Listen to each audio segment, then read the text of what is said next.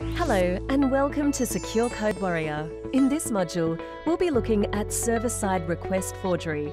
We'll go through some causes and preventions of vulnerabilities in this category. Firstly, what do we mean by server-side request forgery or SSRF?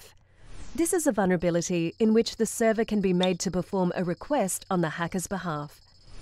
Using server-side request forgeries, a hacker could scan for open ports, retrieve files, or access internal services. Server-side request forgery vulnerabilities usually occur when an application is not restricting the location and type of resources it can access. To understand server-side request forgery attacks, let's look at an example. The server of a digital advertising firm allows users to view high-resolution samples of their work through a web interface. A hacker notices that the file paths appear to be on a separate server. Guessing that the advertising firm is using cloud services to deal with their large file sizes, the hacker tries requesting the instance's metadata and user data.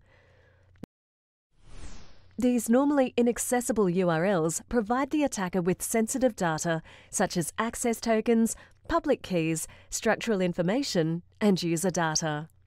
The hacker is not necessarily limited to just HTTP requests either.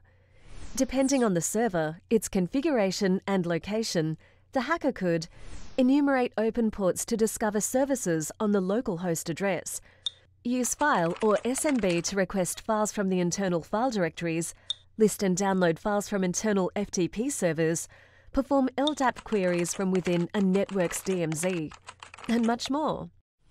To avoid server-side request forgery attacks, it's recommended to restrict requests made by the server to whitelisted locations whenever possible. Verify that the requested file type matches that which is expected. Display a generic error in the event of failure, and restrict requests to approved URL schemas. Congratulations, you have now completed this module.